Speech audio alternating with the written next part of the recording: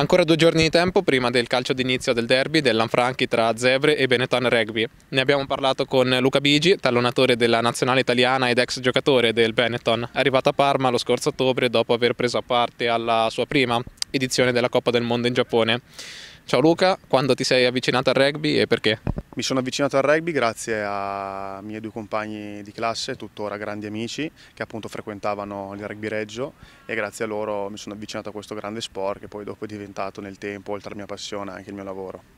E quando hai capito che sarebbe diventata una professione oltre che una passione?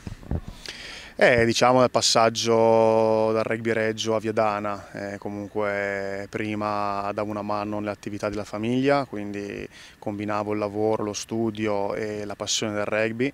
Da quando ho iniziato a diventare appunto una professione a Viadana, da lì ho provato eh, appunto fare, farlo come lavoro fino ad oggi. Chi è stato importante nel tuo percorso di crescita?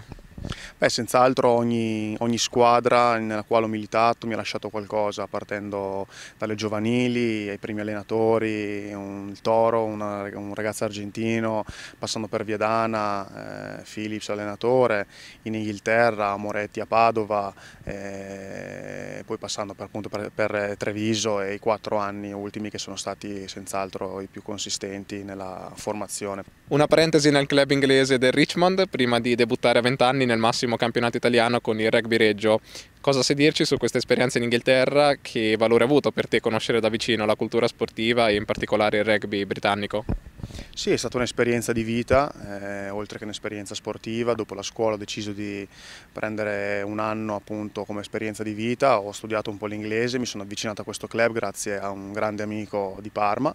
E lì ho trovato un ambiente diverso da quello a cui ero abituato, una, un attaccamento al club, tra l'altro un club molto storico, l'anno in cui ho militato per, quel, per quella maglia era il 150 anno. E nel, nella prestagione abbiamo affrontato la partita più antica al mondo, Richmond contro Black Heath ed è stata un'emozione giocare davanti a 15.000 persone appena ventenne uscito dalle giovanili, quindi è stato davvero eh, un'emozione. E da lì appunto vivere il rugby poi nel, sud, nel, nel sud-ovest di Londra dove c'è molta cultura è stato molto caratteristico per me, quindi veramente un'esperienza indimenticabile. Nel massimo campionato italiano ha indossato la maglia del rugby Reggio, del Viadana e del Petrarca prima di entrare nella rosa del Benetton, con cui ha disputato 4 stagioni e totalizzato 60 presenze e 8 mete. Che ambiente hai trovato a Treviso e come valuti la crescita tecnica che ti ha portato poi nel 2017 ad esordire con la nazionale? Sì, inevitabilmente ho avuto un periodo un po' di, di assestamento appena arrivato, venendo dall'eccellenza, poi pian piano ho trovato la mia dimensione, la, la fiducia in me stesso e negli allenatori in me, da lì ho trovato un ambiente che sicuramente guardandomi indietro mi ha, mi ha accolto a braccia aperte, mi ha, mi ha permesso di, di, di, performare e mi ha lasciato tantissimi bei ricordi come appunto la passata stagione raggiungendo i quarti di finale e, e poi ho trovato tanti amici che tuttora sono grandi amici, quindi senz'altro un'esperienza molto positiva. Conosci bene lo spogliatoio del Benetton, avversario delle Zebre questo sabato a Lanfranchi. Qual è il loro maggior punto di forza? Sì, conosco bene la squadra, eh, sicuramente la consistenza, le fasi statiche dai quali appunto inizia tutto il loro gioco, e quindi sì, sappiamo che squadra andremo a affrontare. Con la maglia dei Trevigiani sei invece sceso in campo in tre occasioni contro le Zebre, due a Monigo ed una a Lanfranchi. Che avversario hai trovato e cosa ti ha impressionato di più nel gioco delle Zebre?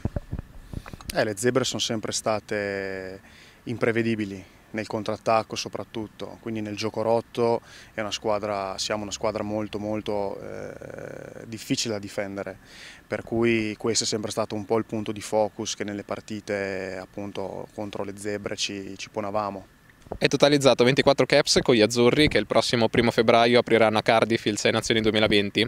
A breve verrà ufficializzata la lista dei convocati al torneo da parte del nuovo CT Franco Smith.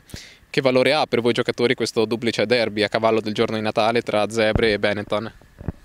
È un motivo in più per performare bene perché sappiamo che ci sarà l'allenatore il nuovo staff a vedere queste partite, per cui è sempre bello, poi eh, sia amici sia compagni di squadra in nazionale, ma nella partita si scende in campo e si pensa a portarla a casa a vincere, quindi sarà bello e questa sarà una, sicuramente una motivazione in più. In settimana come avete preparato la partita? Quali sono gli aspetti chiave su cui puntare per far bene contro i Leoni? Dobbiamo essere disciplinati appunto per cercare di non portarli a giocare nel nostro campo e dobbiamo essere reattivi e pronti mentalmente sin dal primo minuto per tutti gli 80. Da parte loro invece che partita ti aspetti? Ma sicuramente verranno qua appunto con la volontà di, di, imporre il ritmo, di imporre il proprio gioco, con la fisicità, con il pacchetto di avanti e appunto baseranno penso il loro gioco su questo. Per cui ti aspetti una battaglia in mischia? Senz'altro sarà una battaglia, poi il campo, vediamo le condizioni del tempo come saranno, ma sarà una battaglia bella da assistere. Ok, allora in bocca al lupo a Luca Bigi e alle Zebre. Crepi, grazie mille, vi aspettiamo all'Anfranchi sabato alle ore 16.